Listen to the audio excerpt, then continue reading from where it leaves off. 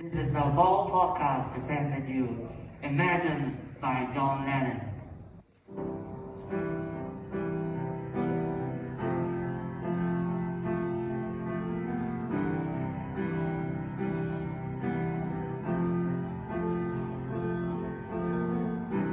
Imagine that.